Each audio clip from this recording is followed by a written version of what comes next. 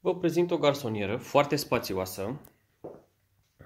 Aici avem camera propriu-zisă, canapea mare, loc pentru televizor, dar piesa de rezistență este această bucătărie. Ia uitați-vă, mare, pe pătrat, foarte mare, cred că are undeva la 10 metri pătrați, să zic. Geamuri mari, lumină naturală, se poate închide cu sticlă, se poate face o super bucătărie. Încă o dată privire de ansamblu.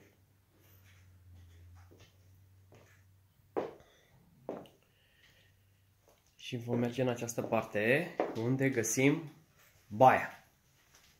Ce credeți? Baie mare, cu geam, utilată. Și aici avem intrarea.